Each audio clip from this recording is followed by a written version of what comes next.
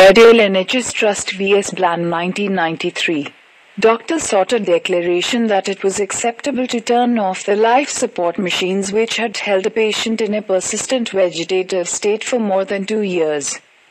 Could a declaration be obtained? Yes, where a person is unable to give or withhold their own consent, doctors are entitled to decide what is in that patient's best interests it may in the best interests of the patient to discontinue treatment.